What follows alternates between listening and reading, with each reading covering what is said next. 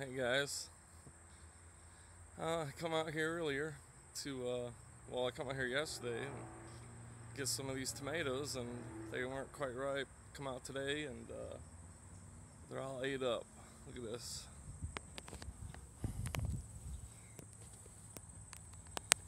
Branches are ate right off. The tomatoes are chomped into. There's little branches laying all over on the ground, wilted, that have been bitten off. And sure enough, here's the culprit.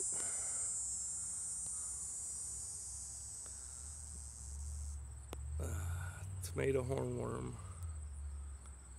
There's one there. When these weren't on here yesterday, these plants were fine, but they're totally chowed up now. And my little Romas, they're all ate up too. This wasn't there yesterday. And sure enough, right here somewhere, they're kind of hard to spot. They blend right in. There's another humongous tomato hornworm.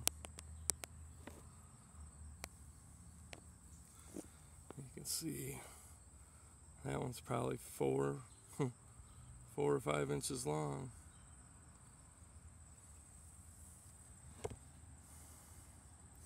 I wouldn't doubt that there's more in here. I picked one off last week.